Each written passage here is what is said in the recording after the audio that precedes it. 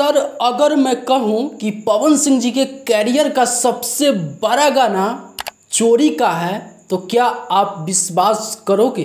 आपका जवाब आएगा, नहीं।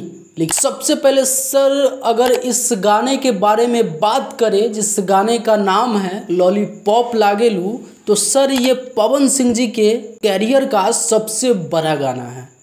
माने तो इन्हीं गाना से पवन सिंह जी का कैरियर शुरुआत हुआ। पवन सिंह जी को लोग पहचानने लगे।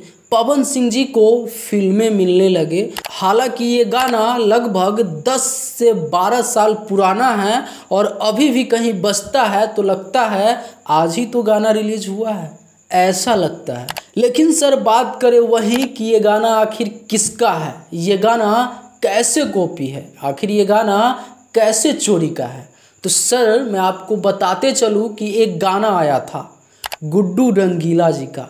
आप सब स्क्रीन पे देख सकते हो, गाना का नाम कुछ इस प्रकार से है, रेंजर पे डेंजर। इस गाने को जब आप सुनिएगा ना, सेम आपको सुनने को मिलेगा।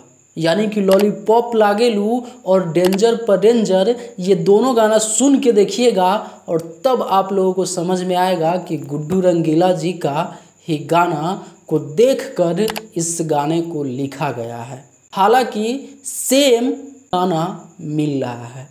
इधर गुड्डू रंगीला जी का और ये लॉलीपॉप लागेलू लेकिन किस्मत देखिए, ये शख्स नहीं बच पाया और पवन सिंह जी बच गए। खैर, आप लोग अपना राय नीचे कमेंट बॉक्स में ज़रूर लिखिए। फिर मिलते हैं कोई अगले बार वीडियो के साथ। तब तक के लिए मैं सोनू, आप सभी को नमस्कार। और हाँ सब्सक्राइब ज़रूर कर लीजिएगा।